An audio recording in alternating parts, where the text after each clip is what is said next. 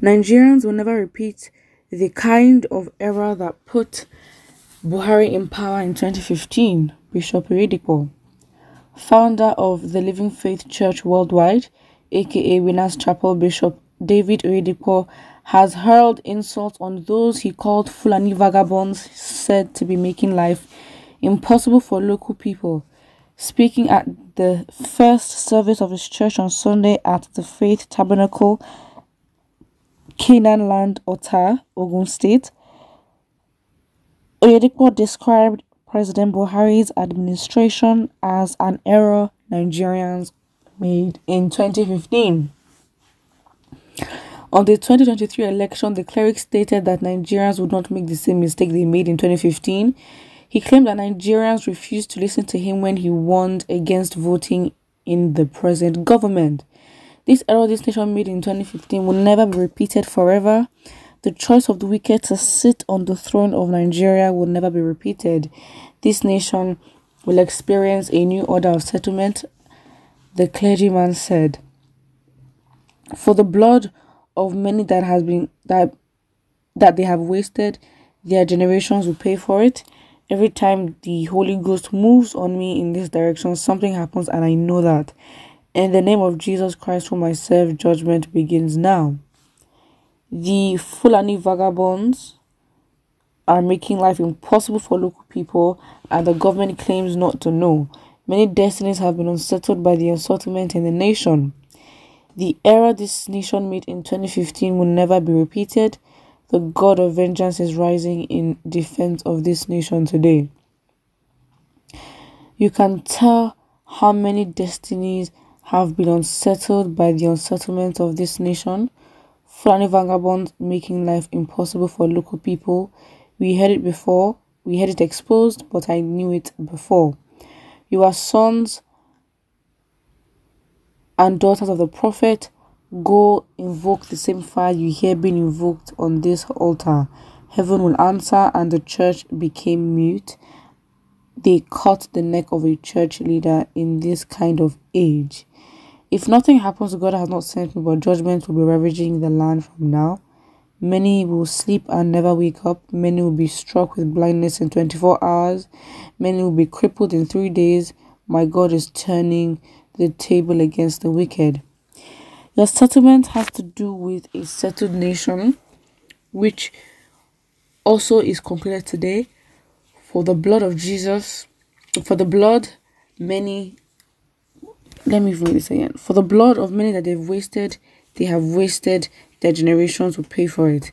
Every time the Holy Ghost moves on me in this direction, I something happens and I know that I know. In the name of Jesus Christ, whom I serve and whose I am, judgment begins now. Okay. Um the the thing is, I, okay, fine. The error in 2015, again, Nigerians were desperate at that time. Nigerians were like, okay, fine, let's make something different because I think maybe what pushed Nigerians to lean towards Buhari, of course, Buhari had a lot of support from the south, which was very much monumental as to why he won and why he got the the southern support.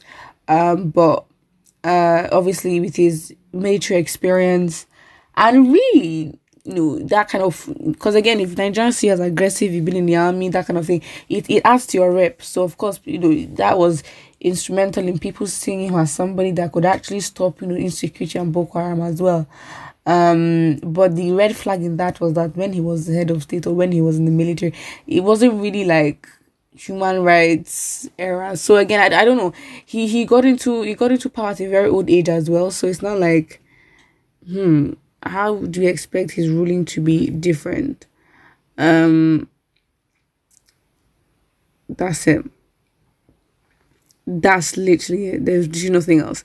I don't think the error was in 2015. I think the big error was in 2019. That that one is inexcusable. That is just it, that's where the error was. The error that's that's a major red flag because we saw, we knew, we experienced for four years how incompetent the government was, and the government was voted in again.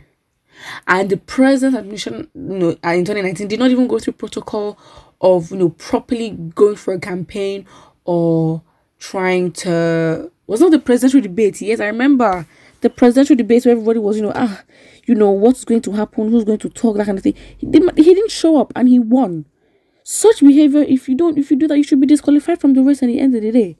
And I think that's what the error really was. 2015, no one knew. But then it was after 2015 we saw and then we experienced Buhari.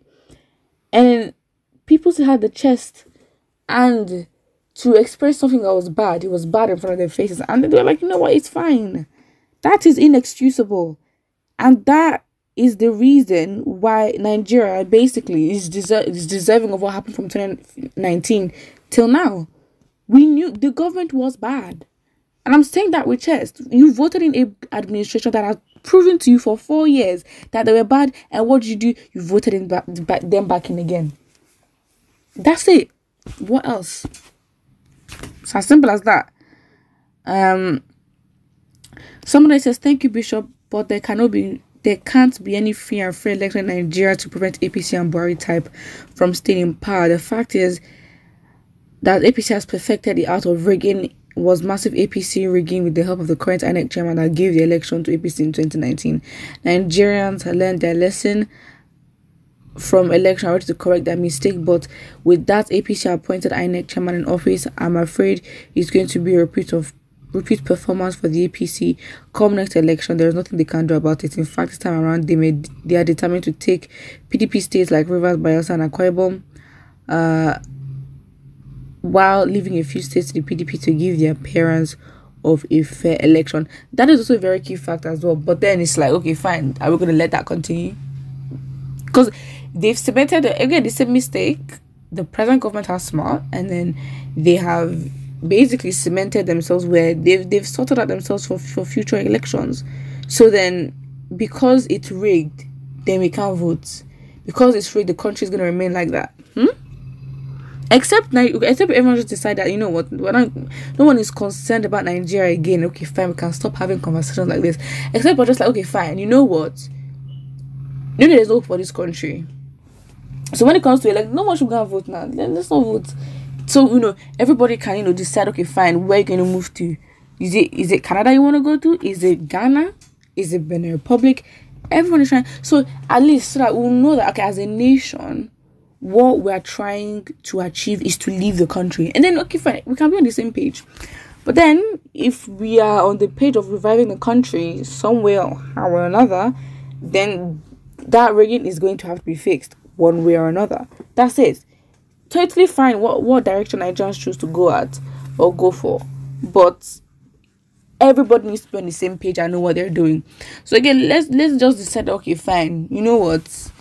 This country is finished. Let's not even you know put in energy. Sort yourself out. Just sort yourself out by moving out because any effort that you put into a business again you're putting anything you do with your money that you're spending or working with the economics of the country, it's not going to favor you at all. Except you have some connections somewhere, somewhere, somewhere, which of course is highly unlikely. But think of an average Nigerian.